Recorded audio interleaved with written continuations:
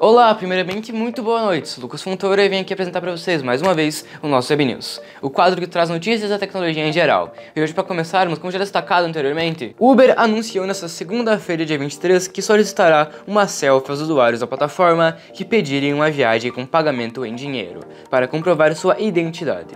A ferramenta, o Selfie, ainda é piloto e visa dar mais segurança aos motoristas do aplicativo.